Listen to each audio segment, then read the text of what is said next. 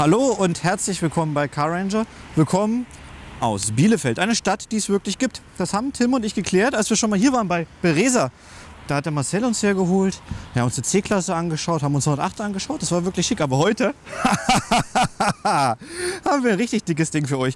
Wer jetzt erwartet, dass ich einen Einblick von diesem LKW mache, würde ich wirklich gerne, aber ich glaube, ich kriege den hier nicht rausrangiert. Viel interessanter ist doch Car Changer. Da habt ihr lange nichts von gehört. Günstiges Auto, teurer machen und am Ende kann einer von euch ein Auto gewinnen. Haben wir das schleifen lassen? Vielleicht ein bisschen. Aufgegeben? Nein. Heute geht's weiter und wir klären die Frage, was könnt ihr am Ende für ein Auto gewinnen? Und ja, da haben uns die Jungs und Mädels von Beresa ein bisschen unter die Arme gegriffen. Von daher würde ich sagen, ich befreie mich von hier, weil ich bin nicht Jean-Claude Van Damme und kann den ganzen Tag hier stehen. Und dann gucken wir mal so, was auf euch wartet und was man denn jetzt auch gewinnen kann, wenn wir mal ein Event machen. Von daher, ja, gehen wir mal rein. So, wir haben es nach drinnen geschafft und Menschen, Nila, Nila, Menschen. Ja, du darfst uns heute mal so ein bisschen begleiten, oder? Ja, richtig, genau. Ich bringe dich gleich zu deinem neuen Auto. Ja, eigentlich ist es ja das Auto von allen Menschen, die quasi in Tim gerade drin stecken. Weil für die wollen wir das machen. Ich habe es dir eben so ein bisschen erklärt. Wir wollen es da hochtauschen Ja, genau, ja. und können uns was Gutes holen. Was machst du hier eigentlich normalerweise? Ich bin Verkäuferin, Pkw-Verkäuferin. Für was für Autos? Äh, Neuwagen überwiegend, aber auch Gebrauchtwagen. Also sowas zum Beispiel. Genau, wir haben hier überwiegend Neuwagen stehen. Ähm, draußen habt ihr euch, glaube ich, wahrscheinlich auch schon mal ein bisschen umgeguckt. Da sind die ganzen Gebrauchtwagen, junge Gebrauchtwagen, Ja. also maximal so drei Jahre alt, maximal 40.000 gelaufen, so um Ja. den Dreh. Genau, wobei man sagen muss, das hier sind solche Autos, die für Leute wie uns, die jetzt mit so einem ganz schmalen Taler ankommen, nicht so wirklich drin sind. Aber auch da könnt ihr ja grundsätzlich helfen, oder? Genau, genau. Also wir haben ein, ein Center, GW Megastore heißt das, in Senden. Und da sind dann äh, die älteren Gebrauchtwagen zu günstigeren Preisen. Genau, also da kann man auch schon einen für 10.000 oder 15.000 Euro Genau, schießen. wobei älter ja nicht schlecht ist. Und man fährt immer noch Mercedes. Genau. Ja. Und wenn wir jetzt hier mal so durchgehen, das sind ja alles aktuelle Modelle. Was ist eigentlich dein Lieblingsmodell im Moment? Äh, mein Lieblingsmodell, es gibt so viele schöne. Also die neue C-Klasse ist sehr schön geworden Mhm. mit dem großen Display, ähnelt halt der neuen S-Klasse. Ähm, aber auch äh, die G-Klasse. Aber wenn ich jetzt eine G-Klasse bei dir bestelle, muss ich ja ziemlich lange warten, Mhm. Oder? musst du ziemlich lange warten, ja. Gibt es da nicht irgendein Modell, was, also einfach mal aus Interesse, Ja. was, was für ein Auto kriege ich eigentlich am schnellsten im Moment? Wenn ich zu dir sage, ich, brauch- ich muss unbedingt ein neuer Mercedes sein, Ja. so wie ich ihn konfiguriert habe, was kommt im Moment am schnellsten? Also bei jeder Baureihe müssen wir momentan so ein Jahr einkalkulieren. Ja. Ungefähr, ne? Aufgrund der Halbleiterthematik. aber Also es ist es aber dann fast egal, ob ich eine B- oder C-Klasse, es dauert halt ungefähr. Es dauert ungefähr ein Jahr. Das Außer man nimmt so was. Schönes in dem Grünen, dann dauert es halt zwei Jahre wahrscheinlich. Zwei, zweieinhalb Jahre, ja. Das dauert schon etwas länger. Sorry Tim, wir können also für dich keine, keine G-Klasse äh, so wirklich mitnehmen. Aber dann würde ich sagen, geh doch mal daran, damit wir vorwärts hier ein bisschen durchflanieren können. Ja, für die G-Klasse reicht unser Budget leider nicht wirklich. Aber das nächste Auto, was wir sehen, da sind wir ja farblich schon mal in der gleichen Welt eigentlich unterwegs. Genau, da sind wir schon mal ganz nah Also das dran, ist, schon, ja. das ist zu dem Auto, was wir holen, das ähnlichste, was ich hier schon so mitfinde. Wie, Gleiche Farbe und auch ein Stern drauf. Also Gleich, gleiche Farbe. Ne, guck mal, unser Auto wird auch vorne eine Park Distance Control haben. richtig, genau. Vorne und hinten, ne? Aber ansonsten halt so ein bisschen außerhalb des Budgets. Ja? Ein bisschen. Was, wie würdest du das einschätzen, wenn ein Kunde zu dir kommt und sagt, eine S-Klasse ist das, was interessiert? Wie viel Prozent von denen sagen dann noch, ja, Maybach, da muss auch Maybach draufstehen. Sind das ganz wenige? ganz, oder? ganz weniger. Kommt wahrscheinlich Also auch auf die Region an. Wir so ein Prozent, so ein Prozent oder? Ja, minim, maximal. maximal. Ja gut, dann wird es bei euch eigentlich noch viel interessanter. Da steht überall auf einmal AMG drauf. Genau, hier kommen wir in die, äh, in die AMG-Ecke. Aber lass mich raten, dafür hat unser Budget auch nicht gereicht. Dafür leider auch nicht. Nein. Aber ihr könnt euch trotzdem freuen. Wir, wir können uns trotzdem genau. freuen. Es ist nämlich ein Auto aus dem GW Megastore. Das heißt, ihr habt da auch ein. Das Auto ist TÜV geprüft, ihr habt äh, frischen TÜV drauf, Garantie ein Jahr. Genau, das heißt, ich habe auf jeden Fall das gute Gefühl, ich fahre mit einem geprüften, ordentlichen Mercedes vom Hof und habe mir nicht irgendwas geholt. Und man hat vielleicht am Ende sogar noch ein bisschen Geld übrig gehabt, um mal in Urlaub zu fliegen und Co. Weil nicht alles für die Leasingrate für den Maybach drauf geht, weil ich unbedingt einen Maybach haben wollte. Und dann haben wir ja auch andere Sachen, so wie Transporter und Co. Das ist aber alles gar nicht mal so spannend. Und ja, Tim, ich weiß, jetzt wird es schwierig für dich, abzubiegen.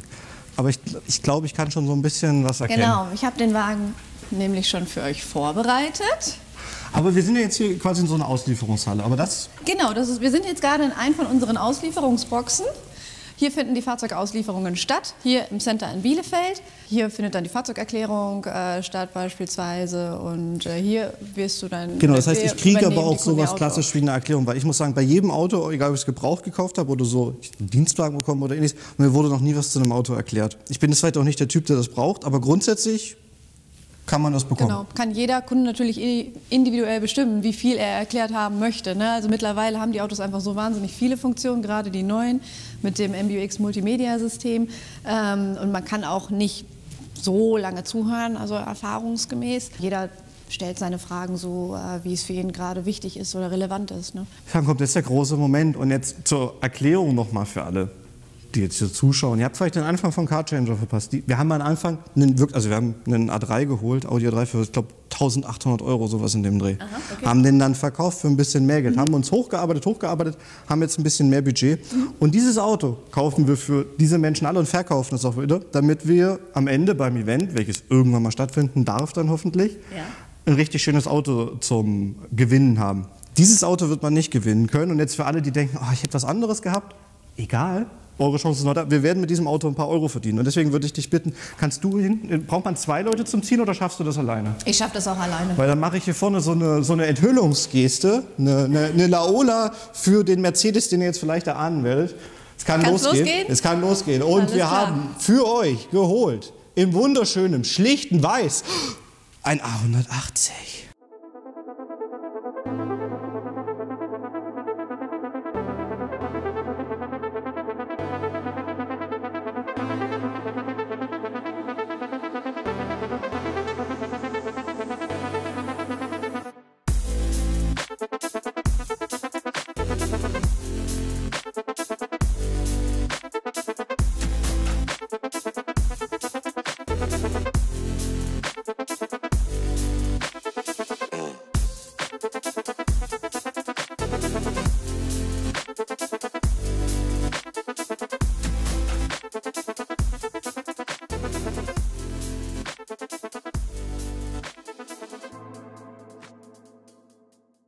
So wie das Auto ausgestattet ist, jetzt werden einige von euch sagen, oh, Halogen und Co. Ich finde, wir hatten es ja vorhin mal kurz von dem Thema hier Ausstattungslinien mit Style, Urban, irgendwas. Das ist eigentlich mehr urban und City geht eigentlich gar nicht, weil was brauchst du in der Stadt? Eine Einparkhilfe? Die hast du drin. Wenn dir kalt ist, hast du eine Sitzheizung. Genau. Hände vom Lenkrad brauchst du auch nicht, hast Multifunktion, was Serie ist. Fertig. Und Navigation sogar noch. Und Navigation. Also so ein Grund, warum wir das Auto auch geholt haben. Das eine ist natürlich klar, wir arbeiten mit Beresa zusammen. Vielen Dank für, für die Möglichkeit, weil jetzt könntet ihr wieder sagen, ja, warum seid ihr denn bei so einem Mercedes-Auto aus? Aber wenn wir nicht hier wären, würde dieses Projekt nicht so vorwärts gehen. Und du, ja genau, dich gucke ich an, könntest am Ende nicht ein schönes Auto gewinnen. Und das andere ist, wir haben ja früher auch viel Gebrauchtwagenvermittlung, Vermarktung und so gemacht. Und immer, wenn wir so eine A-Klasse hatten, vor allem in Weiß, weg. Die sind super beliebt. Das war ja auch die erste schöne A-Klasse nach dem Elch. Das ist schön. Wenn du das sagst, ist das okay. Wenn ich ja, das sage. Und endlich halt auch ein Auto, das jüngere Leute angesprochen hat.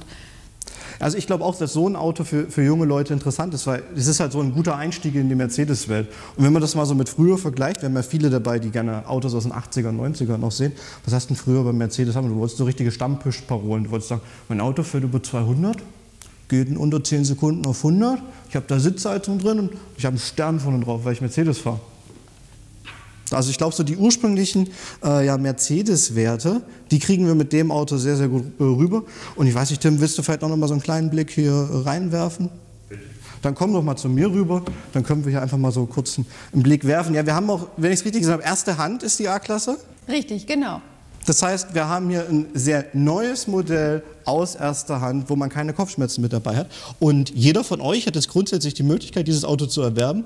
Wer jetzt denkt, dass wir es einfach nur überteuert verkaufen, ja, der liegt auch fehl. Von daher, das heißt, wir geben es zu einem attraktiven Kurs weiter, damit es mit Cardchanger weitergehen kann. Und dann wäre ja auch natürlich unsere Ambition, dass wir euch bei euch so ein bisschen hocharbeiten können. Weil ich meine, du wirst jetzt auch sagen, das ist ein cooles Auto für die Stadt, aber wenn du so die Wahl hättest aus allen Mercedes-Modellen, würdest du wahrscheinlich auch ein bisschen was anderes nehmen, oder? Kommt darauf an, was ich jetzt suche. Ne? Wenn ich jetzt einen Gebrauchtwagen zu einem guten Preis oder zu einem günstigen Preis suche, ist das natürlich ein schönes Modell. Und mit der Ausstattung hat es halt alle Basics, die man so braucht. Ne? Und genau das ist der Punkt. Die Basics haben wir hier alle drin. Genau. Und unsere, unser großes Thema ist, Tim macht wunderschöne Bilder, wir verkaufen das. Und dann, ja, das, der, der Wunder des Autoverkaufs, wir haben dann wieder ein paar Euro mehr. Und wenn wir wieder zu euch kommen, dann können wir vielleicht auch mal über die Basics hinweggehen. Und dann kann wiederum jemand von unseren Zuschauern ein Auto gewinnen, wo alle sagen, echt jetzt? Das hat er bekommen Er hat nichts für bezahlt. Von daher würde ich sagen, ja, springt alle mal über den Schatten teilt das, kommentiert das, sagt, was ihr von dieser A-Klasse haltet. Und wenn jemand einfach einen Mercedes haben will, mit dem er gut unterwegs ist, ist das eure Chance, das Ganze zu kaufen. Und von daher überlasse ich dir die letzten Worte. Was ist am besten ist an dieser A-Klasse? Und dann haben wir es auch schon geschafft. Das Allerbeste, das Allerbeste ist tatsächlich ähm, serienmäßig und zwar der Wagen hatte ähm, oder alle Fahrzeuge, alle neuen A-Klassen dieser Baureihe haben serienmäßig schon einen Kollisionswarner. Also Thema Sicherheit, ne, wo Mercedes einfach immer so ein Vorreiter war, ähm, halt auch in der A-Klasse. Sehr gut. Das heißt, unser Tim ist jetzt sicher unterwegs. Wir machen die Kamera aus. Ihr seht noch ein paar nette Impressionen. Und wir sehen uns beim nächsten Mal wieder. Dann erzählen wir euch, was aus der A-Klasse geworden ist. Und vor allem, ihr seht, was man dann gewinnen kann und wie es weitergeht.